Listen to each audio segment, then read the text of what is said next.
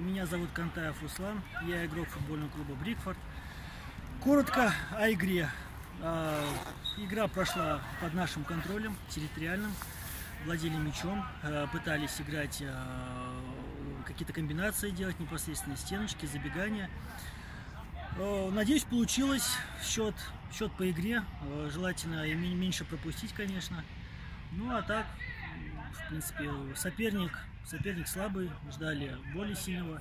Говорят, последняя игра чемпионата, впереди плей-офф, жеребьевка, не знаю, там уже как, как получится. Ну, хочется, конечно, с соперником посильнее сыграть. Ну и выиграть, соответственно, кубок.